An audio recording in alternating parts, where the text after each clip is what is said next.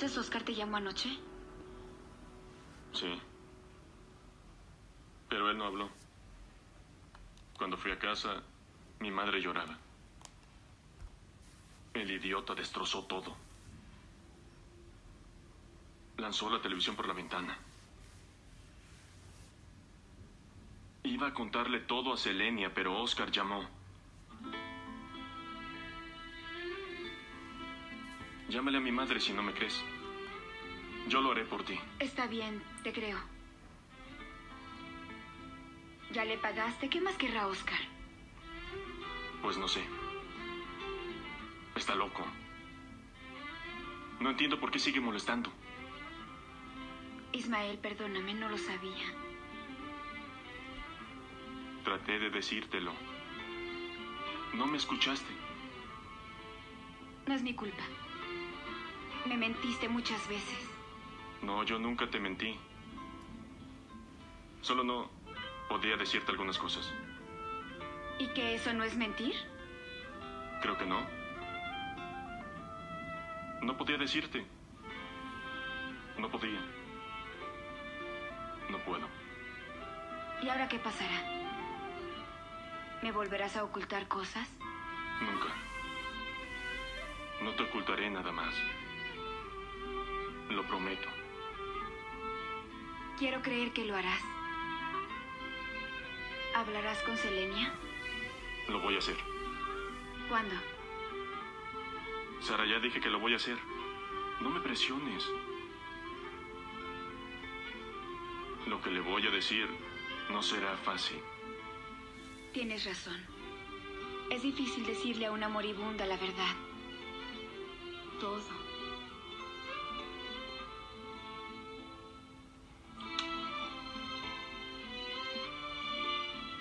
Solo te amo a ti.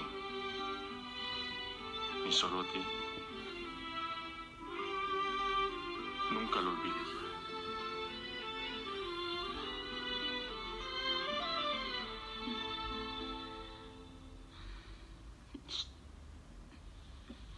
No te preocupes, Herré.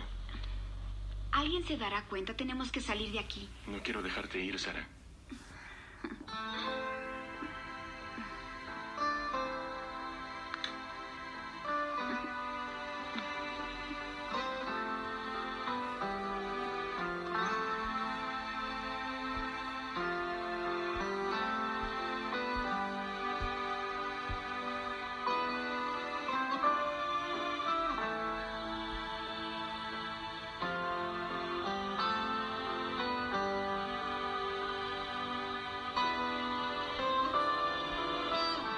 Me sorprendió que me llamaras.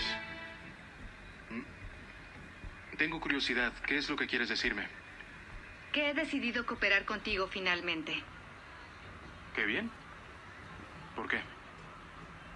¿Qué quieres decir? Sí, ¿por qué? Porque ahora sí quieres. La última vez te negaste rotundamente a ayudarme. Me despidieron esta tarde. ¿En serio? ¿Por qué? No sé. Me gustaría saberlo. Son unos malagradecidos. Trabajé muy duro y muchos años. Ahora me arrepiento de ello. ¿Y qué es lo que quieres decirme? ¿Qué quieres saber de ellos? Pregúntame y te contaré. Mm, Veamos. ¿Ismael sale con alguien? ¿Tiene alguna aventura? ¿Engaña a Selenia?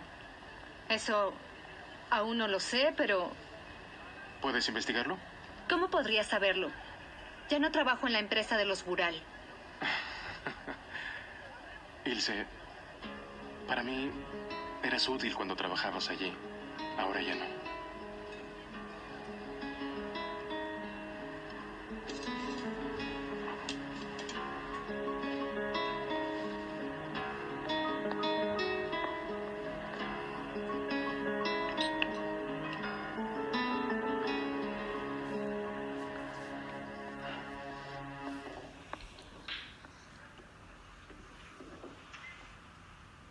Ven, Flor. Sí, señora. ¿Dónde está Ismael? Lo vi estacionar su auto hace unos minutos, señora. Tráeme mi abrigo, por favor. Sí.